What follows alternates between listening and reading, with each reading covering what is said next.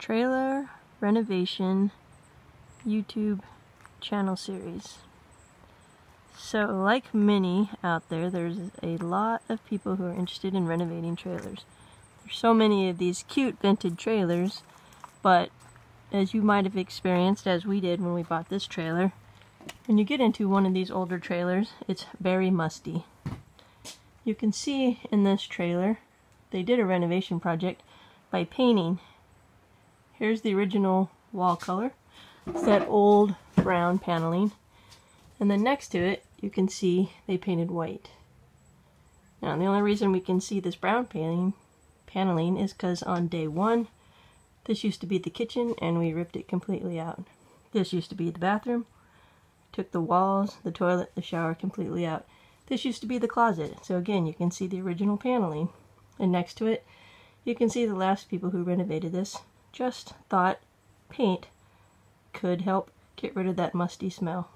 And then here used to be cabinets and the dining area. And here is where the bedroom area was. Now, on day one, we ripped out all of the original cabinets, the bed, the kitchen, the bathroom, etc. On day two, we ripped out the original floor.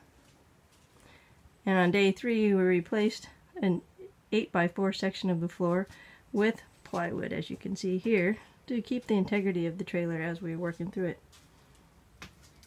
Then we continue to rip apart the floor. Now, let me show you why you just can't paint and hope that the musty smell and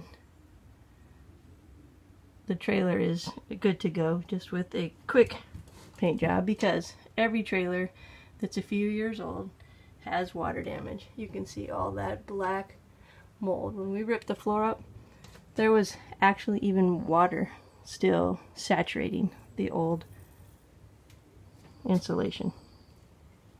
So, if you want to do it right, you really got to rip the floor, rip the walls, and start over again. So, here you can see what the bare floor looks like just the metal and you can see the wires coming out. So we took out all the hot water heater and appliances. On the walls they look very clean because the water runs downhill. You can see that bare metal. So this is day one through five, eight hours a day, renovating a 1972 trailer. Join me on our next video when we get through the floor and we start replacing the walls.